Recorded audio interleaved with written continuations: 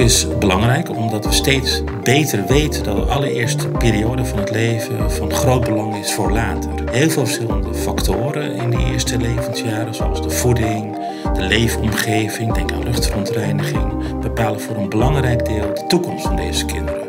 En als we die toekomst willen verbeteren, dan moeten we ook meer begrip hebben over die eerste levensjaren om daar vervolgens iets in te kunnen veranderen. Hoop uh, dat het in korte tijd beter weten wat we moeten doen om de toekomst van uw generaties te verbeteren. En dat wil zeggen dat wat we vinden wat betreft onderzoeksresultaten ook daadwerkelijk vertaald wordt naar de praktijk. Daarom hebben we met het Erasmus MC, de Erasmus Universiteit Rotterdam en de TU Delft het convergentieprogramma Healthy Start opgezet. En dit programma zal veel impact hebben op nieuwe generaties in de toekomst.